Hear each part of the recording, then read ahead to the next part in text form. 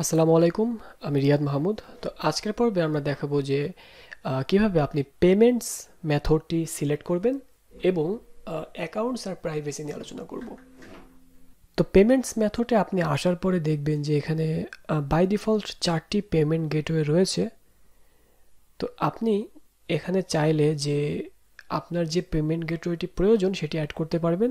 আপনি যে দেশেই থাকুন না কেন, সেই দেশের পেমেন্ট গেটওয়ে আপনি যুক্ত করতে পারবেন। কারণ আস্তে আস্তে তারা ডেভেলপ করছে এবং অনেক রকমের পেমেন্ট গেটওয়ে তারা যুক্ত করার অপশান করছে। যেমন বাংলাদেশ থেকে যদি আপনি চান, আপনি বিকাশ, তারপরে রকেট, তারপরে নগদ, এ ধরনের বিভিন্ন রকম পেমেন্টস গেটওয়ে আপনি অ্যাড করতে পারবেন। এগুলি আমরা আস্তে আস্তে পরবর্তীতে দেখব।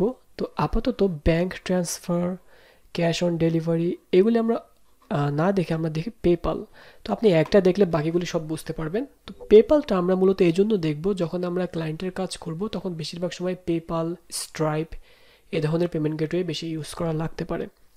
তো পেপালটা ইউজ করার জন্য আমরা এখানে এনাবেলে ক্লিক করলাম। করার পরে আমরা সিম্পলি সেট অ্যাপে ক্লিক করব। তো সেট অ্যাপে ক্লিক করার পরে দেখতে পাচ্ছেন যে পেপালে চলে এসেছি। তো পেপাল স্ট্যান্ডার্ড এখানে কিছু অপশন রয়েছে। এনাবেল পেপাল স্ট্যান্ডার্ড এনাবেল করা আছে already title descriptions PayPal email address আপনার ক্লায়েন্টের পেপাল ইমেল অ্যাড্রেসটি এখানে দিয়ে দিবেন। এরপরে পেপাল স্যান্ডবক্স স্যান্ডবক্স হচ্ছে পেপালে আপনি এটা টেস্ট করে দেখার জন্য যে আপনার পেপালটি কনফিগার হয়েছে কিনা। তো এটা স্যান্ডবক্স এপিআই আপনার ক্লায়েন্ট আপনাকে দিয়ে দেবে। জাস্ট এনাবেল করে দিবেন সিম্পলি আর কিচ্ছু না এখানে। এখানে আর কিচ্ছু করতে হবে না। যেভাবে আছে, এভাবেই থাকবে। কোথাও কোনো পরিবর্তনের প্রয়োজন নেই। তো এখানে বাকি অনেক ইনফরমেশন রয়েছে যেগুলি আপনারা নিজেরাই পড়লে বুঝতে পারবেন। তো এখানে এপিআই ক্রেডেন্সিয়ালস এখানে বলছি interview API credentials to process refunds via PayPal তো পেপালে আপনি যখন রিফান্ড জিনিসটা অ্যাড করতে চাবেন, তখন এখানে এপিআই কি প্রয়োজন? তো পেপাল এপিআই ক্রেডেন্সিয়ালসে এখানে আপনি ক্লিক করলে দেখবেন যে তারা কীভাবে করতে হবে। তো আপনি সিম্পলি ক্লায়েন্টকে এটি দিয়ে দিবেন।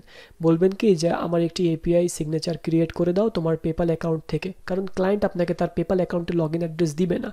সেজন্য আপনি এটি ক্লায়েন্টকে বলে দিবেন।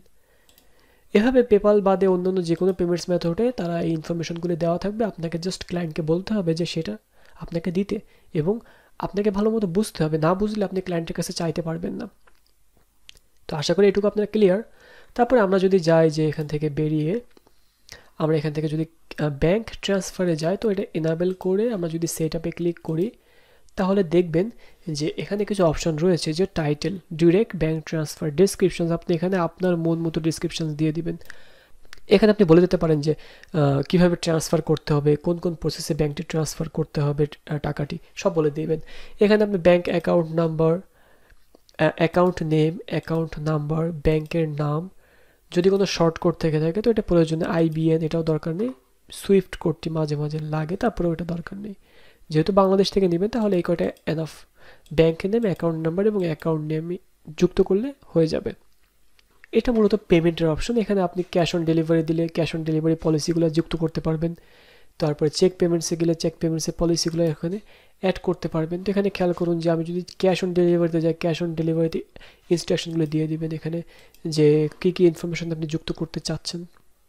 তারপরে আছে accounts and privacy accounts and প্রাইভেসিতে মূলত কিছু অপশন রয়েছে যেগুলো অনেকে আমরা বুঝি না। খুব সিম্পল অপশন বাট না বোঝার কারণে আমরা অনেক প্লাগইনস কিংবা অনেক ধরনের ইনফরমেশন যুক্ত করে ফেলি, যেগুলি খুঁজে মানে মাথা খারাপ হয়ে যায় আমাদের যারা নতুন আছে আর কি। তো প্রাথমিক পর্যায়ে অনেকের, বিশেষ করে আমি নিজেও এরকম অনেক সমস্যার সম্মুখীন হয়েছি। কিন্তু পরবর্তীতে যখন আমি আস্তে আস্তে কাজ করতে করতে দেখলাম যে, না, এগুলো সবই তো রয়েছে, তাহলে কেন আমি এত মাথা ঘামাচ্ছি?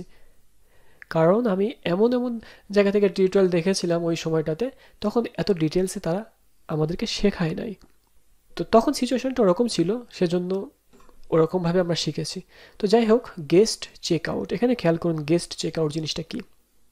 গেস্ট চেক আউট হচ্ছে আপনার ওয়েবসাইটে কেউ এসে উইথাউট এনি অ্যাকাউন্ট সে অর্ডার করতে পারবে। আবার আপনি চাচ্ছেন যে allow customer to log in into an existing account during check out অর্থাৎ ক্লায়েন্টের বা আপনার কাস্টমারের একটি অ্যাকাউন্ট রয়েছে, যেমন দারাজে আমরা অর্ডার করার সময় যদি আমাদের অ্যাকাউন্ট থাকে তখন দারাজ বলে কি যে অ্যাকাউন্টে লগ ইন করো, তারপরে অর্ডার করো। ঠিক বিষয়টি এরকম, দারাজ কিন্তু বলে না যে তুমি অ্যাকাউন্ট করা ছাড়াই লগ করতে বা অর্ডার করতে পারবে। বিষয়টি এরকম না। তো আপনি এখানে বলে দিতে পারেন যে হ্যাঁ অবশ্যই তাকে অ্যাকাউন্ট করে তারপরে অর্ডার করতে হবে। যদি আপনি সেটা করে দিতে চান, তাহলে এটাকে উঠিয়ে দিবেন। আর যদি চান যে না, সে অ্যাকাউন্ট করেও করতে পারবে, আবার চাইলে সে অ্যাকাউন্ট ছাড়াও অর্ডার করতে পারবে। এখন আসি অ্যাকাউন্ট ক্রিয়েশন তো অ্যাকাউন্ট ক্রিয়েশন এখানে কিছু অপশন রয়েছে যেটা আপনাদের অবশ্যই প্রয়োজন। যখন আমরা লাইভে দেখাবো, তখন এগুলো আরও ভালো মতো বুঝতে পারবেন। তারপরে এগুলো আলোচনা করে রাখি, কারণ এখানে আপনাদেরকে বিভিন্ন সময় আসার লাগতে পারে। অর্থাৎ কেউ যখন অর্ডার করবে, তখন অ্যাকাউন্ট ক্রিয়েট করার জন্য কিছু অপশন এখানে রয়েছে। খেয়াল করুন, প্রথমে allow customer to create an account during check out check out করার সময় কাস্টমার জন্য অ্যাকাউন্ট করতে পারে, সেখানে আপনি অ্যালো করে দিতে পারেন। এখানে allow customer to create an account on my account page my account page থেকেও তারা যদি অ্যাকাউন্ট করে না থাকে, তাহলে ক্রিয়েট করতে পারবে।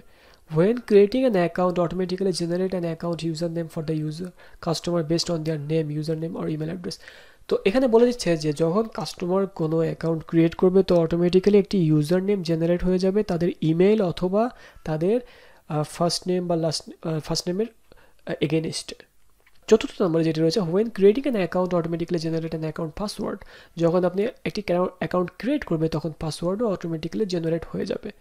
চাইলে ম্যানুয়ালিও দিতে পারে।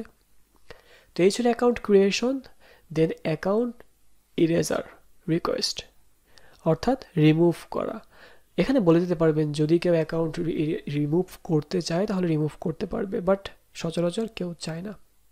তারপর আছে পার্সোনাল ডেটা রিমুভাল চাইলে আপনি এটাকে অ্যাড করে দিতে পারেন যে কেউ চাইলে যে পার্সোনাল ডেটাগুলি রিমুভ করে দিতে পারে ফ্রম বাল্ক অর্ডার তো এখন বাকি যেটা রয়েছে সেটি হচ্ছে প্রাইভেসি পলিসি যেটা আমরা প্রথমে দেখেছিলাম যে প্রাইভেসি পলিসিটা তারা অবশ্যই ইউজ করতে বলবে। তো প্রাইভেসি পলিসি একটি পেজ ক্রিয়েট করবেন, করে এখানে অ্যাড করে দিবেন যে এটা প্রাইভেসি পলিসি পেজ এখানে আপনি কাস্টম টেক্সট দিতে পারেন রেজিস্ট্রেশন প্রাইভেসি পলিসি এখানে আপনি registration privacy policy link add করে দিতে পারেন। অনেক সময় আমরা এটা খুঁজে পাই না। অনেকে আছে, আমার একটা সময় মনে পড়ে যে আমি একটা ক্লায়েন্ট বলছিল যে তার চেক আউট পেজের থেকে প্রাইভেসি পলিসির পাশাপাশি টার্মস অ্যান্ড কন্ডিশনও শো করাতে।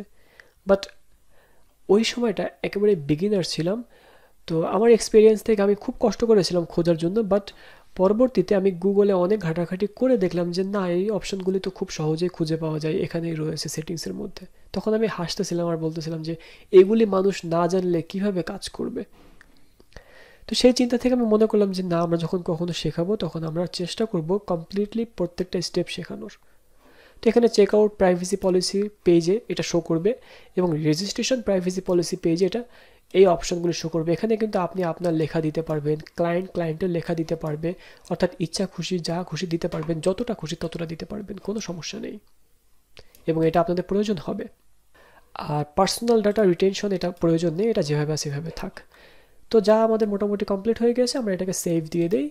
তো আশা করি এতটুকু আপনারা বুঝতে পেরেছেন। এর পরবর্তী পার্টে আমরা ইমেল ইন্টিগ্রেশন অ্যাডভান্স নিয়ে কাজ করব। ততক্ষণ পর্যন্ত আপনারা এগুলো নিয়ে স্টাডি করতে থাকবেন। সবাই ভালো থাকবেন। আল্লাহ হাফিজ।